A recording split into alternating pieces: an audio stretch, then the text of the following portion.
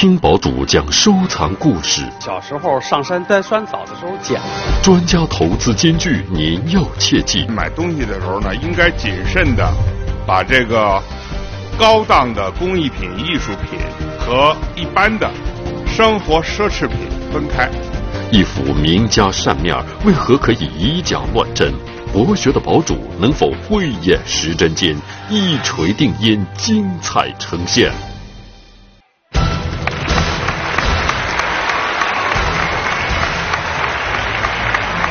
亲爱的各位朋友们，大家晚上好！欢迎各位准时光临中央电视台财经频道《一锤定音》，我是朱毅。首先，掌声欢迎今天坐镇现场的三位专家老师，欢迎三位老师。为大家隆重介绍今天为本场节目提供最终大奖的艺术家，来自四川的自贡市级非物质文化遗产李氏竹木雅玉雕刻传承人李征宇先生，您好。竹雕也称竹刻，可在竹制的器物上雕刻装饰图案和文字，或用竹根雕刻成各种陈设摆件。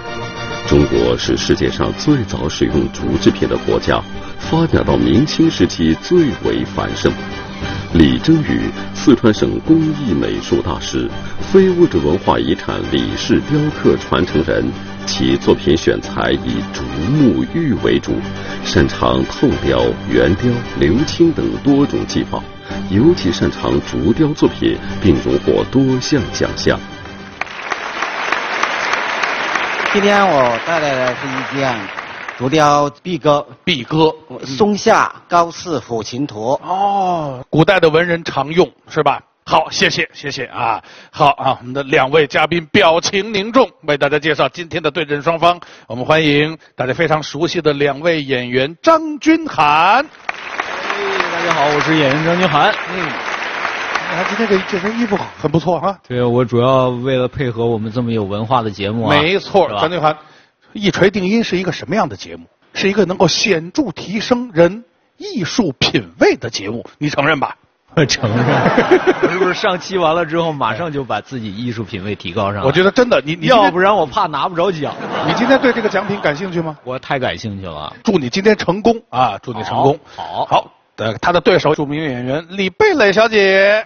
Hello，大家好，主持人好，嘉宾老师好，电视机前的观众朋友们好，我是演员李蓓蕾。哎，太客气了。这个你喜欢吗？我太喜欢了。这个对你有什么用呢？鼠标经常我们会垫一个鼠标垫在那儿，就每天操作呀。哦。但是以前的人，古人写字的时候啊，行书的时候垫着这个，我觉得特别文雅。对。好啊，希望二位加油！今天你们身后依然是你们非常熟悉的十位高参，欢迎你们。哎，嗯。我们高参来自各行各业，多数都是收藏爱好者啊。希望你们今天能够多多发挥自己的这个才能。接下来我们就会通过若干道题目来决出今天最后的胜者。大家也可以通过一轮一轮的辨真假和猜价格来丰富大家的艺术收藏知识。首先看一段短片，了解一下第一组两件宝物。宝主认为这是一件宋代角胎绿釉盏。自唐代开始出现的角胎历史，源于对于漆器和木材纹理的仿制，是一种装饰美化陶瓷的技法。碗口直径十一厘米，宝主预期价格三十万。宝主认为这是一组粉彩雪景诗文瓷器，一件壶，一件盖盒，都是出自景德镇名家龚耀庭。他在青绿、浅绛、雪景等绘画方面无一不精，享有陶瓷美术家的称号。这两件雪景瓷器可以算是其经典之作。一组名家之作，一件历史精品，真真假假，你能猜对吗？呃，第一组两件宝物，号称宋代绞胎绿釉盏和宫耀庭座粉彩雪景诗文壶和盖盒，请二位上前观看。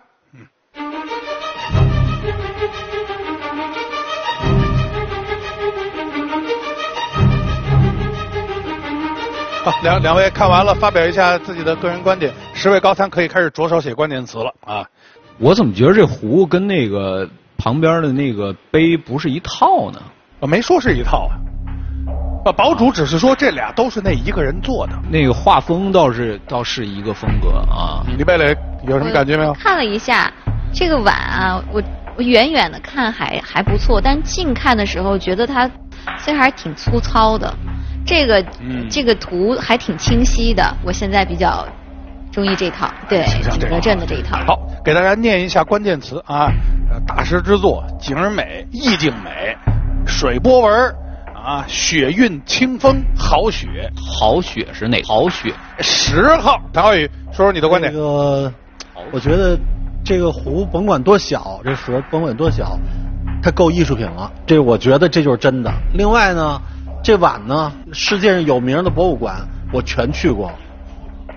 这我没见过。听听这个纹路吧，是不是要说这个碗啊？八号，这个纹路就是这个脚台碗，它这个脚台本来是这个胎里面也有这个纹路，我好像看着这个胎里面没有那个纹路。这个碗呢，看着比较新，也没有这么沧桑感。这个好，你再挑一位，九号淡雅吧，扎慧玲小姐。对，我觉得她精致，因为顶上那个画啊，就是雪呀，还有那个景色船呀，构成一一幅特别美的画，特别有意境。有意境啊！对，他说的话对你有帮助吗？有，我听出来了，他是东北的。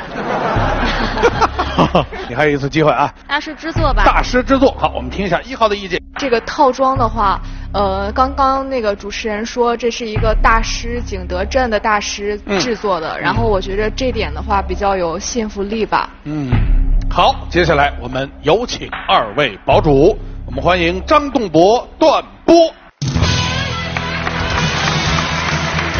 好，专家老师好，呃，嘉宾好，两位男士，你好，你好，呃，您是张栋博，啊，说说您这件宝物的来历。这件宝物啊，是小时候上山摘酸枣的时候捡的。这哟，这句话还挺绕嘴。小时候上山摘酸枣，这是在枣树下边发现的吗？对，当时还有一个，一个这个，还有一个壶。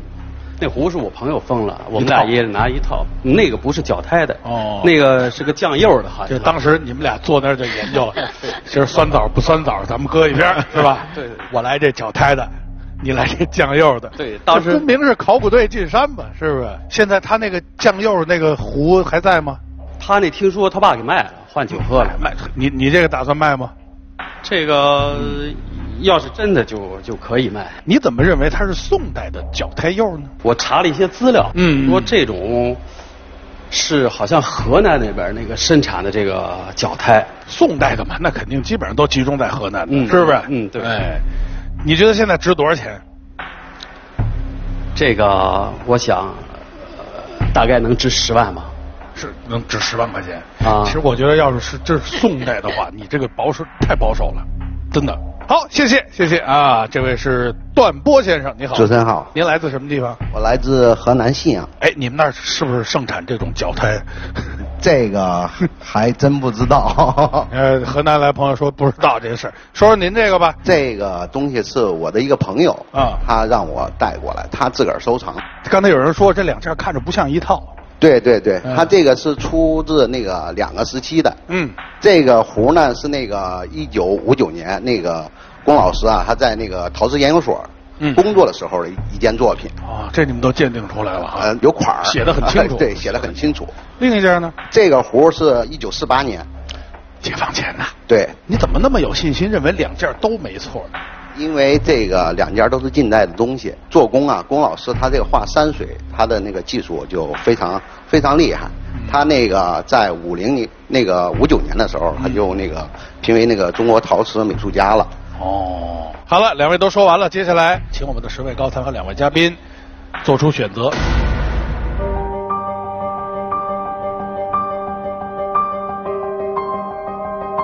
接下来我们来看一看十位高参的选择。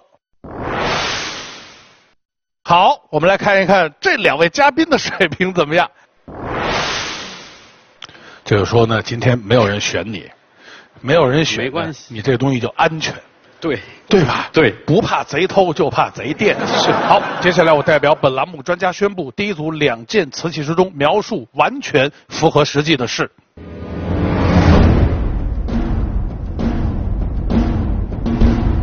是，公要停坐，粉彩雪景诗文壶和盖。来各各加一枚标志啊。好，这个碗到底怎么回事啊？来，请教杨静荣先生。正好刚才那个谭怀宇先生说说，在国外的博物馆没见过啊。这个东西在博物馆国外的博物馆里边有，主要是存在日本的博物馆里边。在古代的时候啊，不是河南一个地儿烧这个东西啊，基本上呢，它是在那个磁州窑系的窑址里边流行这种手法。呃，传世品确实不多。你像它这个花纹吧。叫叫这个雁翎翅，还有叫木叶纹的，就是大概统计了一下，大概有十几种。可以这么讲啊，这个脚胎的产品，我们现在见到的百分之九十九都是后来生产的仿制品，因为这种东西在古代的墓葬里边出土也特别稀少。呃，唐代的偶尔还能见到有一些枕头。你这个有一个最大的毛病在哪儿？就是。这釉应当是低温，但是磁州窑它一般都不用低温釉，因为我见到的第一件仿品是一九七九年仿制成功，所以你这应当是一九七九年以后仿制品啊。谢谢老师。所谓绞胎，是将两种或两种以上不同颜色的瓷土揉合在一起，然后拉坯成型，浇一层透明釉烧制而成。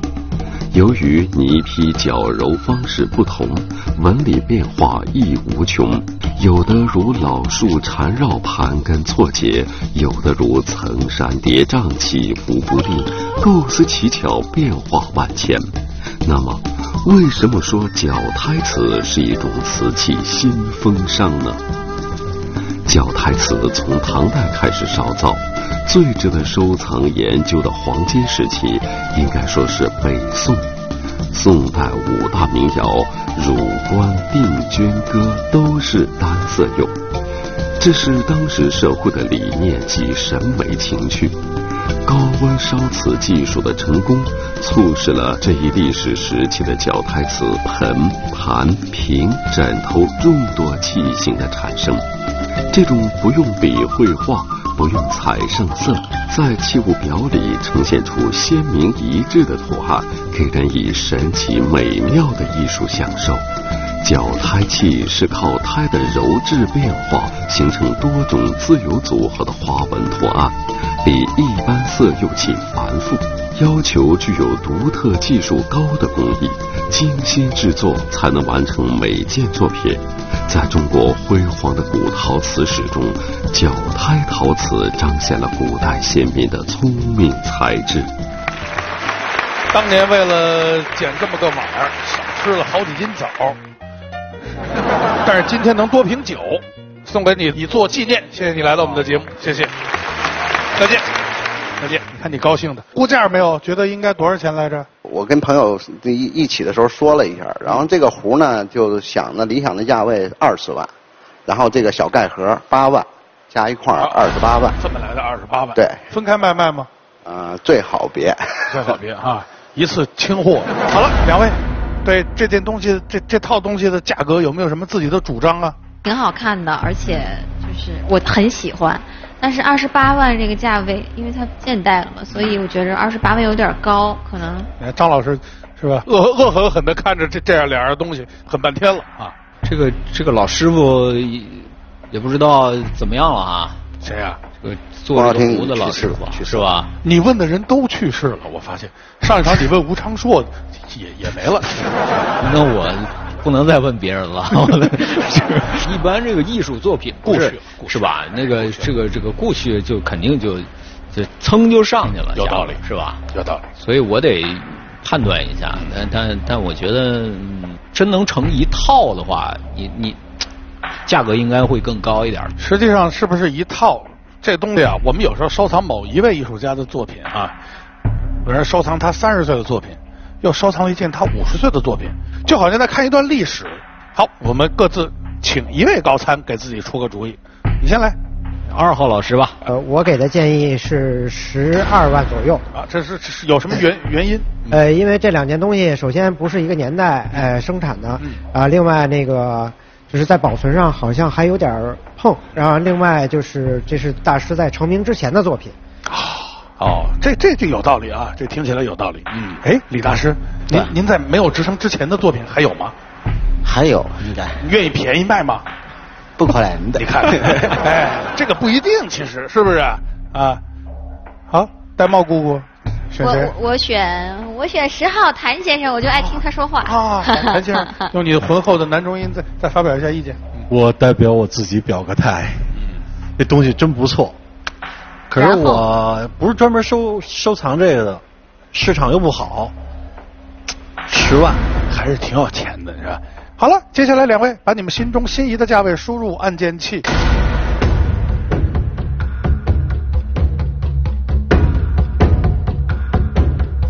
我们看看李贝磊在这一轮给这两件啊龚先生的作品给出的估价是，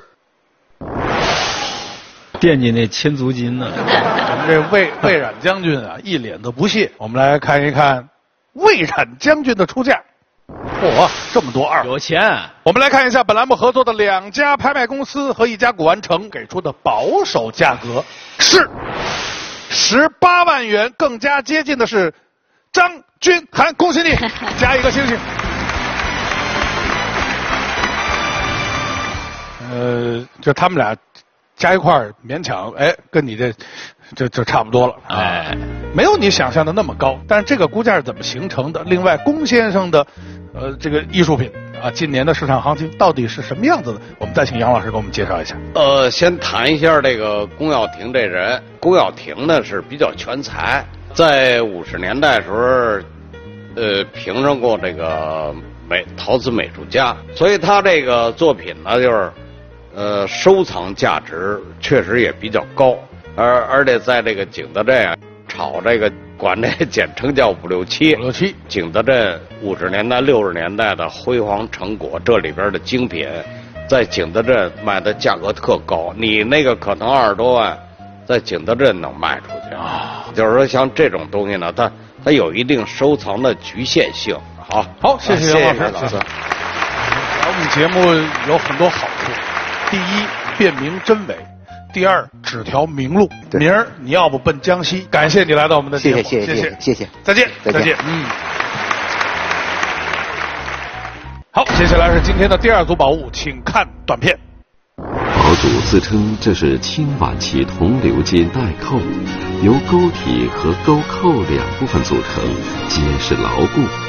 带扣系古代系腰所用之物，贵地位富足的象征。堡主自称这是明代料器五彩玉壶春瓶，造型由唐代寺院里的净水瓶演变而来，瓶身为玻璃制物。瓶底刻有明代成化年制，两件藏品有真有假，究竟哪件才是真的呢？两件分别描述为清晚期铜鎏金带扣，另一件号称明代料器五彩玉壶春瓶。玻璃刚刚进入中国的时候很珍贵，被称之为料器。你们你们能看出来这镶嵌的是什么吗？左边那个看着像。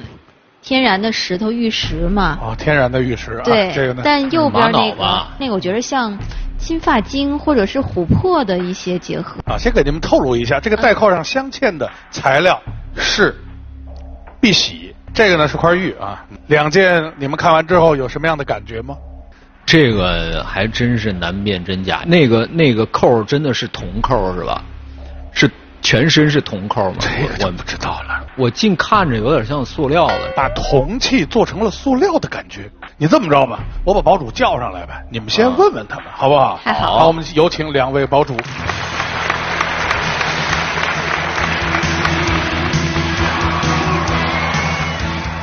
您是骆先生，嗯，啊，骆长真先生，您来自什么地方？宁夏彭阳县的。宁夏哈，嗯，这个这是你们那儿的吗？嗯，是我家祖传，祖传的，传下来的。你怎么知道这个东西是清晚期的呢？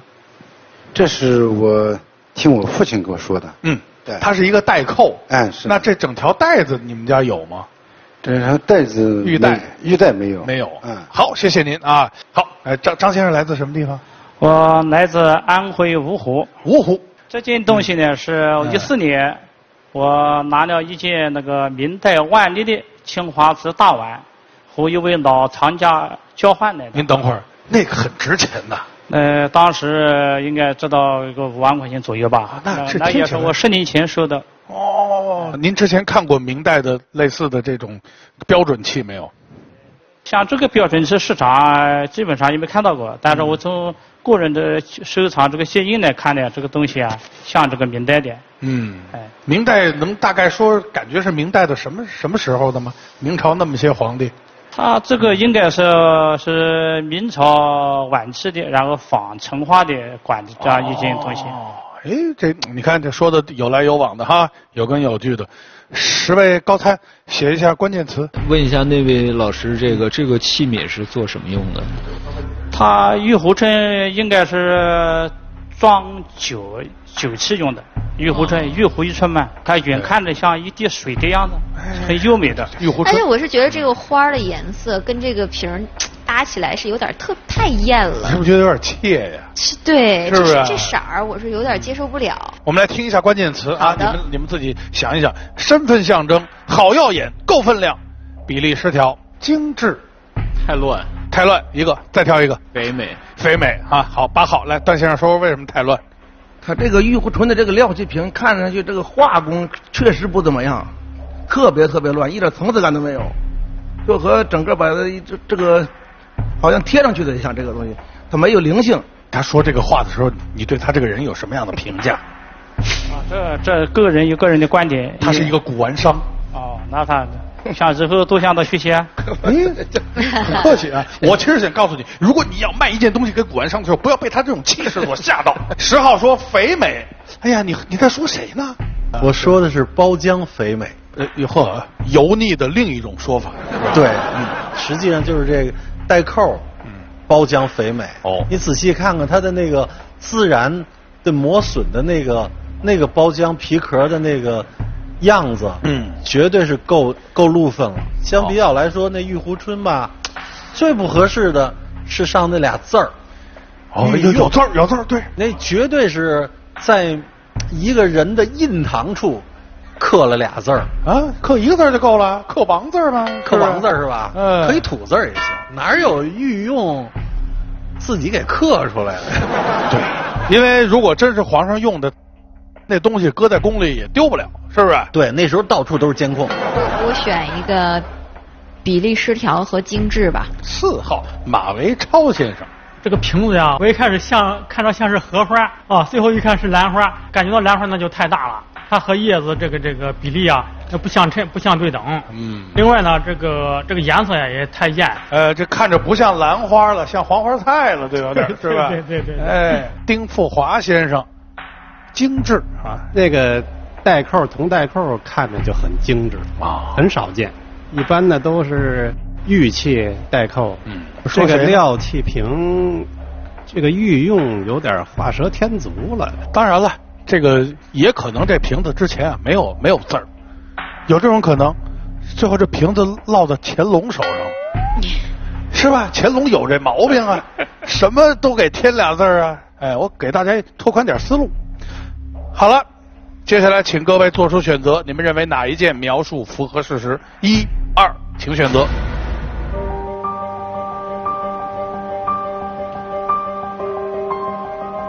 好，我们来看十位高参的选择，都选的你，你觉得我们这高参水平怎么样？很好。您觉得我们这高参水平怎么样？高三应该是很有眼光的。哦，很有眼光的了啊，很客气。我们来看两位嘉宾的选择。呀哈！啊，我按错了。呃。你你怎么看待有一个人选你这件事儿？啊，你怎么能说你按错了呢？啊，感谢。你觉得他？你觉得他是不是在所有人里边他是最有眼光的一位？因为这件东西很美啊，政治往往掌握在这个少数人手里。说得好。是这样的，那个这位老师，我真是按错了，但是总有一票现在支持你了，挺好的。谢谢啊。就是错了不就一分吗？不就是为了让张先生能拿走那个老师的版呃那个？你别这样啊，老师，你这样我胜之不武。你老老师一想，我们这个啊做件艺术品是为了让你们争取，好你们在这儿让拿我这东西送人情，是不是啊？这哪行啊？对不对？好了，接下来我要宣布啊，这一轮经专家鉴定，两件宝物之中描述符合事实的这一件是。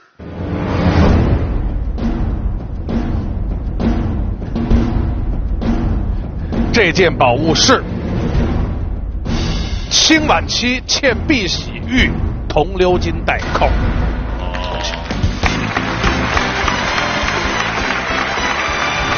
这件玉壶春瓶到底是什么年代的？想知道吗？想知道，请教张广文先生。呃，咱们这个定名呢，说它是料器，料器这个名称呢，在清代以后比较的流行，而在明代呢，明代的这个很多的文献里头讲到，大概一般的谈到玻璃器的时候，叫药，吃药的药，药玉。看到明代的这种玻看到的玻璃器呢很少，一般的都是什么呢？带板啊，小件的这个小杂件另外一个呢，就是它使用的就使用的材料里面呢含的铅钡比较多，它比较的透明度低，温度呢烧的时候，这个温度呢又比较的低，所以表面的光滑性也差，里边的气泡、气眼又多，就有这样的一些。一些特点，而咱们这件作品表面的光洁度就比较高，而且呢，这个我们看上面呢，所谓的这种呃气眼呀都没有，呃这边是这里面呢，顺便说一下它的御用这个款儿。那么明代呢，在掐丝珐琅和玉器中有一种款子，两个款儿底下呢，比如大明宣德年制，嗯，呃再一个款呢叫御用监，这种呢掐丝珐琅上也有。呃，是一个机构，估计跟东厂是平级的。这个，这所以这件东西呢，应该说呢，是一件呃当代的纺织品。哎，谢谢，好，谢谢张家张先生。好，谢谢您，再见，再见。嗯，您高兴吗？现在？啊，很高兴，很高兴哈。啊，你觉得他他得卖多少钱呢？现在？哎呀，能卖个一百来万吗？这一百来万是怎么估出来的？从这个年年代。哎，啊，年清朝就得够一百来万，是吧？好吧，我们听一下高参的意见。十号，我就认准十号了。你薅羊毛别指着一个薅，他都秃了。薅的跟葛优一样。这怎么那么贵啊？第一，这个东西是个实用的，然后呢，呃，就说包浆肥美吧，那是好听的，可是它毕竟呃级别不高啊。然后上的那碧玺上的那些痕迹，呃，就是都是特蹭的挺厉害的。然后，哎呀，这种东西能不能上拍我都不好说。这个就是几千块钱的事儿这也分是谁用的。你你你知道这这是谁用的吗？官员。谁呀？哪位官员用的？就是省级的还是钦差吧？是皇上跟前那个钦差大臣。到了宁夏之后，是吧？到宁夏之后，这个。因为盘缠不够，所以把这个腰带拿下来卖了。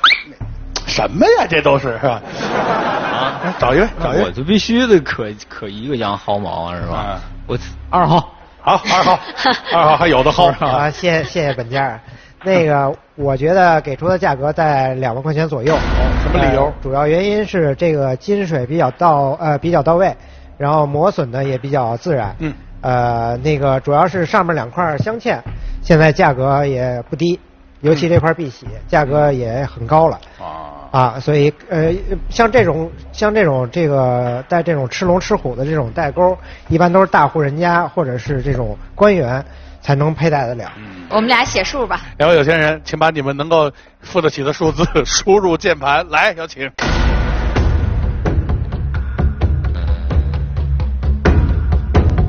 好，我们先来看一下。刚才说要给一千万的林贝蕾 啊，对这一件清代的代扣给出的价格是三万五千元。这个价格怎么来的？我们来看看魏冉将军他给的价格是多少？一万八千零一。你这数都是有零有整的。哎，我不知道碧玺的价是个什么价，那块玩意儿肯定值点钱，就跟我们吃馒头似的，馒头是馒头的价，枣馒头是枣馒头的价。对，好。接下来，我们来看一看本栏目合作的两家拍卖公司和一家古玩城对这一件清代铜鎏金嵌玉和碧玺带扣给出的市场估价是五千元。更加接近正确答案的是张君涵再加一枚星星。哎呀，那就到四分了是吧？怎么样？我是真是诚心诚意的想让你得到那个。当然了，骆先生肯定不干，对，是吧？我们来听听专家老师来讲一讲，为什么它值五千块钱？这个戴饰呢，在明清时候呢，就是也是非常受重视的。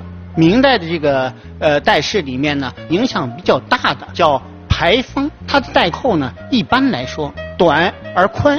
到了清代，就是软朝代上面有镶嵌带扣多样化，这个用这种钩形的带这种呃钩头式的这种带扣呢，就比较多起来了。它它方便呀，是吧？另外呢，牢靠，这这种从这个作品的样式看，呃，变化很多，清代的了。然后呢，就说镶嵌。明代的这个带饰上面呢，就原石，而且镶嵌的部分比较小；而到了清代，像这样的带饰呢，就镶嵌呢大大块了，而且进行一些打磨。这个碧玺呢，这个裂的比较厉害，通透性又差，够不够宝石级别都很难确定。这个玉呢，呃，质地不是特别好，为了表现它的通透呢，磨得很薄。这可以推断，当时这位官估计是个清官。清官的东西应该贵啊，这个。我觉得，我们在买东西的时候呢，应该谨慎的把这个高档的工艺品、艺术品和一般的生活奢侈品分开。哎，张老师，您说会不会是女用的呀？呃，有有可能，有可能。就是，呃，贵夫人的时装上边的一种装饰，而且呢，它很新潮，它不是清朝太早的，因为它的颜色是不对称的，一边红一边白，啊，这个做官不能这样的啊，这边红这边白，啊，这个肯定这是一个有点洋味儿的新型的设计，呃，一个是时代晚，一个是呢，它是属于奢侈品，而不是属于工艺品或者艺术品。所以呢，它的价值相对就在于这两块宝石上而已，啊，好，就是如此。嗯，谢谢，谢谢各位老师。可能是哪位王爷侧福晋用的。好，呃，这这个感谢您拿着宝物来到我们这里，虽然跟您想象的不太一样，我相信有朝一日会值那么多钱的。嗯，谢谢。好，谢谢骆先生，再见，再见。嗯。好，现在的比分是四比一，现在两位为您这这块碧哥打的简直是热火朝天。一万六千是十六万，我写错了。粗心大意，却让他意外收获胜利。李半磊加上一颗钻石。一对价格并不高昂的花瓶，为何获得如此评价？在唐山有这么一对胆瓶，用实物记载了我们国家民族资本主义发展的一个高峰阶段啊！一锤定音，精彩继续。接下来第三组两件宝物，请看短片。这幅《墨河图》作者亚明是中国画坛重要流派先金陵画派的中间推动者和组织者，他主张中国画有规律无定法。这幅扇面，一面画有江行出雪图，作者陈少梅是京津画坛名噪一时的画家；一面题有李瑞清书法。作者曾高中见识，是中国现代美术教育的先驱，也是中国现代高等师范教育的开拓者。两件书画作品，三位近现代名家，孰真孰假？您来猜猜看。呃，一个扇面啊，一幅画，两件宝物之中有一件被认定描述符合事实，另一件是赝品。啊，这我们说的很干脆。另一件是赝品，一件号称是亚明所做的《墨河图》，另一件号称是正面陈少梅江行出雪图，背面是李瑞清书法。亚明，当代画家，陈少梅就不用说了，大家非常熟悉了，是原来天津美术学校校长。啊，背面这个题字，李瑞清是何许人也呢？教育家、书画家、文物鉴赏家。好，两位初看之后有没有什么感觉？光看这大小，肯定是那个平尺大的，看起来更那个清晰一些。大者为对啊。对，但是 但是我觉得这个扇面儿吧，是画的还是比较比较好看。嗯。嗯，比较精美，我还挺喜欢这个扇面的。哦。啊，你觉得呢？像您刚才说了，这个扇面这是两位。两位合作了啊。这个如果是当代的话，我觉得还有可能啊。现在关键词已经有意境、豪放、荷叶乱。哎，荷叶乱这三个字太有意境了。这如果是一个上联的话，我想到菊花残。啊，特别好。老道，挑一个吧，挑一个关键词。我选惺惺相惜惺惺相惜，再选一个。再选一个字儿好看。字儿好看，好来三号。张诗涵，中国传媒大学播音系考古方向研究生。我觉得就是呃，因为两个大家凑到一起完成一部作品就很不容易。嗯。然后如果说呃是因为彼此都很珍惜对方的才华的话，就会促成这种事情。所以说，我觉得如果说能把这两位大家凑到一起的话，它更容易是真品。嗯。然后我觉得呃，左边这个水墨画它有点像。呃，就比如说看到了这样一个景象，即兴创作的那种写生，对，我是这么好这种观点。好，我们再来九号张慧玲。我觉得那个扇子的字写的非常的强劲有力，我觉得字好看是吧？字上啊，听完了有没有什么收获呀？还是有的，还是有的啊。来，你选两位，苍白豪放吧。苍白豪放，这是你的座右铭吗？谭浩宇告诉他们什么叫苍白？苍白就是。就觉得那荷荷荷叶荷花画的感觉苍白，这画的好不好另说。人家如果要模仿的话，人家也是有本模仿出来的。哦，如果要是模仿一个扇面一模模仿的话，那得多难啊！嗯，好，听完了苍白，我们听一下豪放啊，二号。呃，我正好跟他意见有点相反。哎因为我说这个豪放呢，指的是这个这个荷花。嗯。啊，那大家可以注意一下它的构图，把这个整个构图呢构成了一个圆形，就是相当于团团圆圆，然后树叶啊，就是那些芦苇啊，也都是成双成对的。所以说，对这个这个这一对新人是一个非常好的一个寓意和祝福。呃，虽然不算是那个亚明大师的那个呃精品之作，但是他确实是用心了。去祝福这一对新人了，所以我觉得这个还是一个很好的作品。嗯，我们我们可能没注意这上款这有上款写着是送给，这是一对新婚夫妻交流一下。因为比如说哈，他是有本的，哎，他照着别的画，人家的构图没问题啊。我就经常这么画。嗯，那个有可能他是照着这个大师的作品去仿制的，但是呢，从他的整体的这个风貌。还有这个款式和这个用笔的这种老道来说，我个人认为还是比较到位的。嗯嗯，就是说，就算仿他也是个名家。好了，到这里大家就可以做出自己的选择了。啊，如果认为这一幅亚明墨河图描述符合事实是真迹的，请选一；认为陈少梅江行初雪图扇面为真迹的，请选二。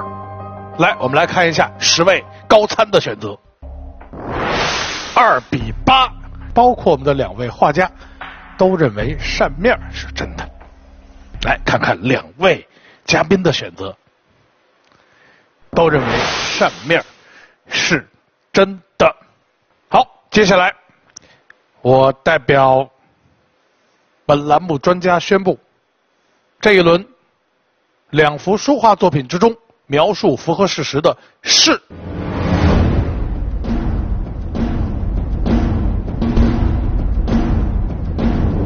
是亚明墨河图。你们都答错了啊，都答错了，都错了，都答错了。哎，这轮要恭喜二号和七号两位高参。二号都那么拽你们，你们都不听。陈少梅《江行出雪图》扇面背面李瑞清书法是赝品，什么原因？请教金运昌先生。这个选画的最大的误区就是说，呃呃，好像外行的人喜欢选精致的。哎呦，这个画的多细呀！它细，它管什么用啊？啊，对，它不好啊。呃，说实在的，这个雪景的扇面，呃，它的水准。他的艺术品味还不如刚才画茶壶的那个大师呢。那陈少梅可是上世纪最杰出的艺术大师之一。但是呢，现到现在大家谈起他的艺术成就来，就没有不佩服的，对他的早逝都扼腕叹息。啊，他画的那个北宋的山水，啊，呃，那个每一笔的质量，完全不是这种松松垮垮的样子。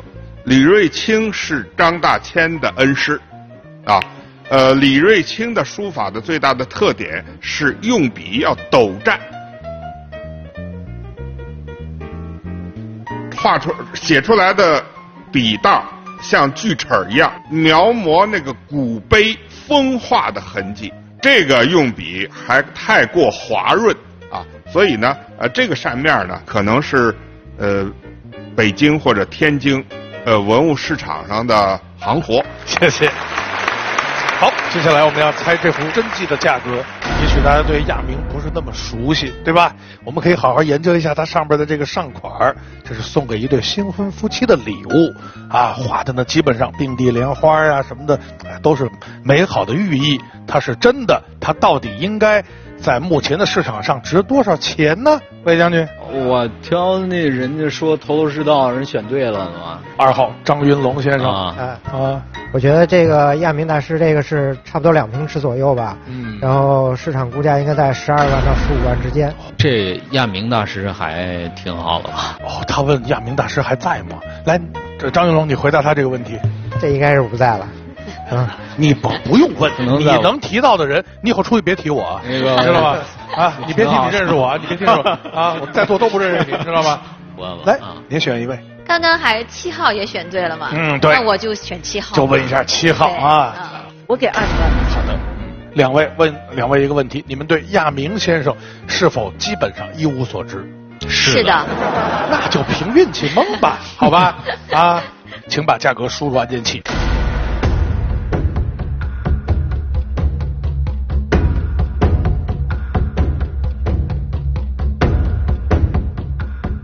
我们先看李贝蕾，李贝蕾对亚明先生这幅作品给出的价格是一万六千元，是十六万，我写错了。你看，现在我已经输的惨成这样，你已经到了一个这个，就是头脑不清楚了。我给的是十六万，那没办法啊，嗯，错就是错了。好啊，魏冉将军，主要是我全力以赴。来看看哦，十四万九千九百九十九元，就是我又综合了一下大家的这个。这个差价，嗯，他们他从初中考试应该就是靠这一招蒙，是吧？对。好，我们来看一下本栏目合作的两家拍卖公司和一家古玩城对亚明的这幅墨河图给出的市场保守估价是八万元。李曼磊加上一颗钻石，悬念继续啊，悬念继续。这样的一个价格。啊，以及亚明先生作品应该得到一个什么样的评价？我们来听金先生做一个稍微详细的讲解，请。嗯，呃，亚明先生呢是上世纪一位杰出的画家，长期担任江苏省国画院的副院长。院长是谁？傅抱石。江苏的美术创作啊，当年搞的是红红火火的。他这个地位，应该说画价很高。因为他是一个呃美协的组织者，对吧？啊，他的应酬非常多，啊，谁要画都给，这样就造成了呢，他的画在市面上流传量很大，所以呢，反而相对于可能其他画家，价格不高，二点七平尺八万，等于是三万一平尺。基本合理，还有一点升值空间。因为什么呢？这张画很讨喜，可能是给给一对晚辈夫妻，呃，祝贺新婚的。比如说啊，拍到十万或十二万也是可能的。画的呢是很吉利的，并蒂莲花啊，并蒂莲花，墨用的很清透，啊，呃，不是苍白。估计这是八十年代的作品。到现在看起来跟刚画完一样水润水润的啊，这就是中国画笔墨的功力。好，谢谢金老师。江苏在上世纪出现的新金陵画派有一批画坛先锋，他们已经具备了传统中国画的基本素养。而在社会变革之时，又面对着挑战和机遇，创作出一批享誉当时画坛并影响后世的国画作品，包括有傅抱石、林散之等名画名家。但为什么说亚明是这新金陵画派的中坚力量呢？亚明作为筹建江苏省国画院主要人物之一，不同于其他画家，还要组织画家的日常创作。但他是一个重传统、善创新的艺术家。他有一封闲章：“三师教我。”所谓三师，就是人民、传统、生活。在国画革新上，亚明主张中国画有规律无定法，提出国画应是立足继承民族文化传统，融汇外国美术之精华。当时没有人说社会主义的中国画是什么样，但是蓬勃向上、欣欣向荣是新中国画上应该有的精神面貌。至于用什么笔法，那是画家个人的艺术处理。从他的作品价格也不难看出，他不仅是新金陵画派的中坚力量，也是中国画坛的一位佼佼者。他的传世代表作《石壕吏》拍出一千零四十六点五万元的高价，刷新了亚明作品拍卖的记录。还有最后一组两道题。李贝蕾，你你还有机会，你还有机会。我打起精神来。他只要答对一题，你就没机会。那你别让他念叨我。啊，好啊。两件瓷器，请看短片。这组藏品，宝主自称是民国人物瓶，器型优雅，发色明亮，瓶身上绘黛玉葬花题材，比例相当，画面布局几乎一致，组成一对赏心悦目的摆瓶。这件越窑青釉罐，宝主认为年代应该是在晚唐至五代时期，罐高十三厘米，直径八厘米。宝主心里预期价格三十万。两件瓷器中，猜猜究竟哪件才是真的呢？好，最后一组两件宝物，在红色台子上号称是民国黛玉葬花人物纹瓶。民国的啊，这很像那个结婚的陪嫁什么的里边的东西啊。蓝色台子上这个是号称晚唐至五代越窑青釉罐我们有请两位堡主孙胜清、尹华坤，欢迎两位。两位这步调倒是挺一致。好，孙先生您好，这一对这黛玉葬花是吧？对，这是您买的呀？对对。多少钱？当时好多年前淘的是一千多块钱，在什么地方买的？用大十二那时候还没拆时候，在北京买的对吧？您怎么知道它是民国的？因为一个是这个民国这个墨色吧，一个是不太黑，它有那个；再是一面人物一边这个斯文的，是民国的特点。哦，民国兴这个，对，兴这东西。现在呢？现在估计我估计三往往上吧。因因为这个器型硕大比较，它瓶高是五十五公分，有点大，对，有点大。你看，并且成对儿的，这个瓶子往这一摆，你你基本上看不见戴帽姑姑了吧？啊，好，谢谢啊，好，呃，尹华坤女士，您好，哎，你好，你好，这是您什么时候得到的？这不是我的，嗯，我的朋友嗯委托我过来的。咱说句实在话，你你朋友这东西来的道正吗？你觉得？他他买的，他买的。他跟你说多少钱买的了吗？六万。六万。六万。什么时候买的？嗯，四五年以前吧。四五年前，在温州的一个古玩城。头回听说温州有古玩城。这好吧，那只能靠你们各位自己了啊！来，这个各位选高参吧。将军先来。那我还可一个杨蒿呗。张云龙。我更倾向于这个民国的这个嫁妆瓶，上面的金水，然后剥离的也不是很严重，呃，时代特征特别明显，嗯，呃，保存完好。嘿，我选这边这个，就就是就是它了哈，嗯，我再帮你选一个，今天五号还没说过话，是不是？好。首先呢，看到这个画，就是他的这个人物，包括我们对应到这个著作的作者和这个说的这个瓶子，它的这个年代时间，我觉得是比较符合的。然后呢，再看它的瓶身，线条是非常流畅，包括它的整个构图，我。觉得这是比较让我幸福的，就是这个哈，对，这这这个呢，没有过多关注，哦，没有过多关注啊，好，谢谢啊，您挑一位，我肯定也可着一个薅呀。啊，好十号，特别不能让你失望，你都快被薅出破伤风了。我要说一关键词，就是黛玉反复葬花，哎哎，而且黛玉还是双手写字的，哦我没见过这样的。然后呢，相反的来说，那个老的有好多完整器存的存世下来的，那多了去了，嗯，然后价钱也不贵。刚才都说成那样了，你也信？我我我相信感觉。哦，一号啊，你再说两句啊。呃，我也觉得是左边这两个瓶子比较真，就像刚刚我身边这位专家他说，算是小写意吧，啊，兴趣比较多。嗯，好啊。哎，二号，人家说你是专家，你感觉怎么样？现在？呃，欣欣然接受。鉴赏杂志主编，我我我我有些问题啊，这个瓶子的背面的字迹是完全一样的啊，乍看体儿一样，它只是说字体保持的是一致的字体，但但前面为什么画画风那么不对称呢？这个袖子上有花，那个袖子上没花，他看的真是挺细的。这个这正是手工绘画一个特点，如果是一模一样，反而是贴画的，反而是现代的工艺。对呀，我们可以可以可以开始做做选择了。来，我们的十位高三加上两位嘉宾，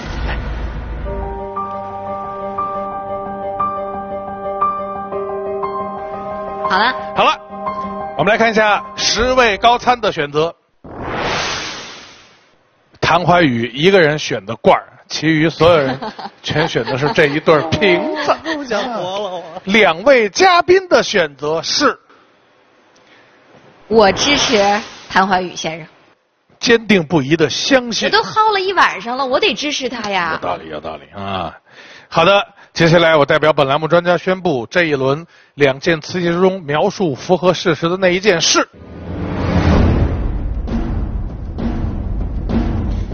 是民国粉彩黛玉葬花人物纹。好，加一个星星吧。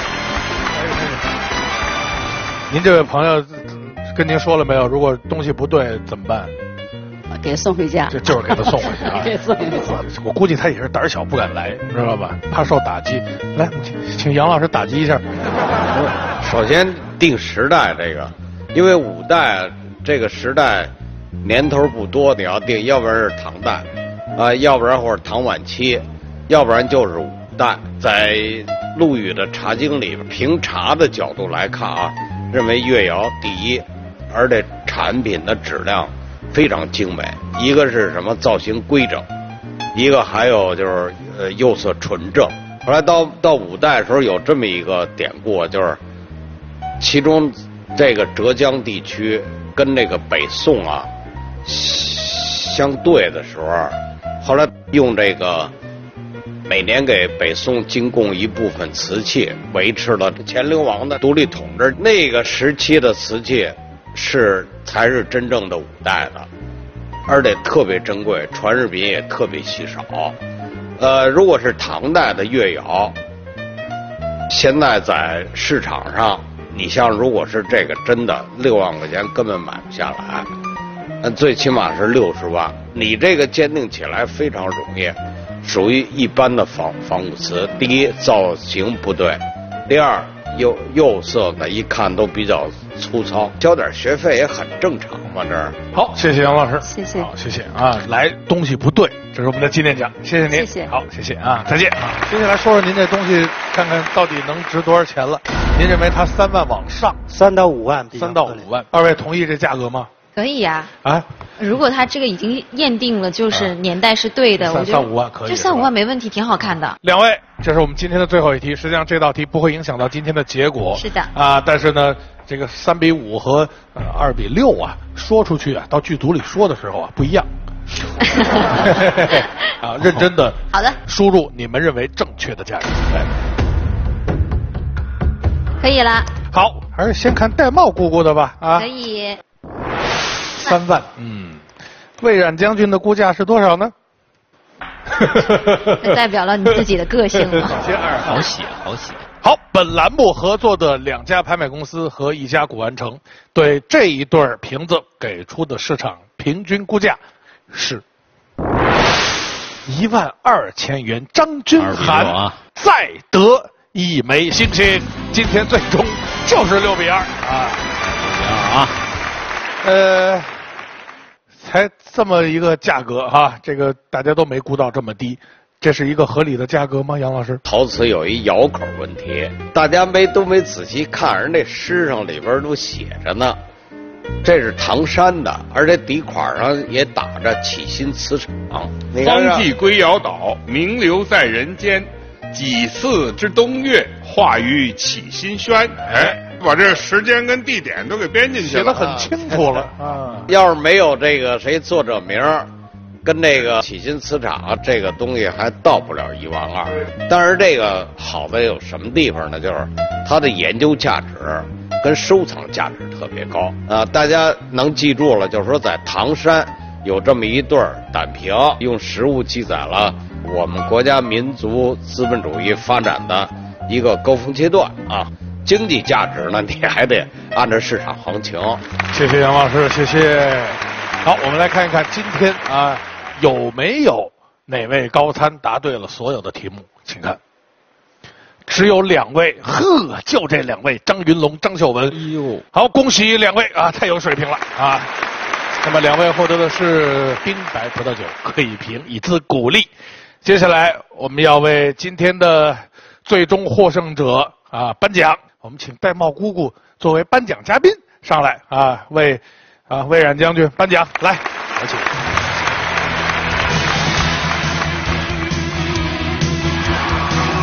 啊啊！刚刚就没近看，雕工这么好，早知道我就不怕他念叨我。少壮不努力呀，你知道吗？来颁奖，来说一下获奖感言。太激动了！那个终于在这个文化的舞台上血耻了一把。魏将军，从今天起，你不光是武能上马定乾坤，也能文能提笔安天下了。恭喜你啊！恭喜！再次把掌声送给今天的十位高参，谢谢你们，谢谢。最后，掌声送给今天坐镇现场的三位专家老师，谢谢三位老师，谢谢。感谢各位收看最具艺术气息的电视节目《一锤定音》，我是如意，下周见。